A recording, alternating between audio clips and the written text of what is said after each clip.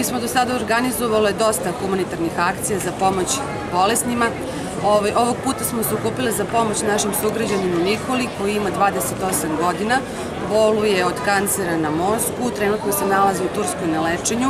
Novac mu je hitno potreban za lečenje i svaki prilog koji danas prikupimo je nama, odnosno za njegovo lečenje, dobro došao.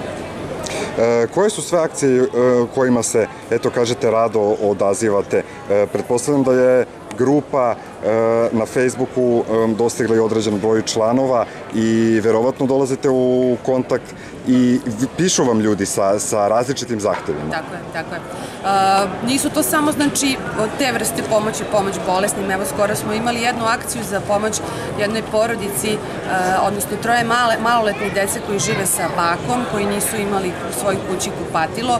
Ovaj, vrlo brzo smo obavestili medije, obavestili ljude dobre volje. Uh, tu se i grad, odnosno opština uključila u tu pomoć, prikupljenje materijal. Ja mislim da je već krenulo sa izgradnjom kupatila u suštini dosta nam se ljudi javljaju koji imaju nekakvih ili finansijskih ili zdravstvenih problema i mi smo uvek voljne i spremne da svako na svoj način i ko kakvoj mogućnosti pomogne.